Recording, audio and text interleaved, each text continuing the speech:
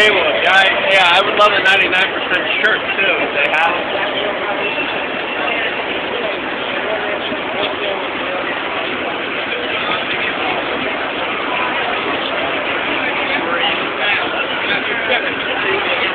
I still think it's a good man.